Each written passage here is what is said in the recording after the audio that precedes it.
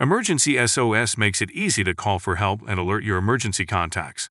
However, you can disable the feature if you so choose. Here's how. Tap to launch the Settings app from your home screen. Then, choose Emergency SOS from the Settings menu. By default, if you continuously hold the side button and either volume button, a countdown begins and an alarm sounds.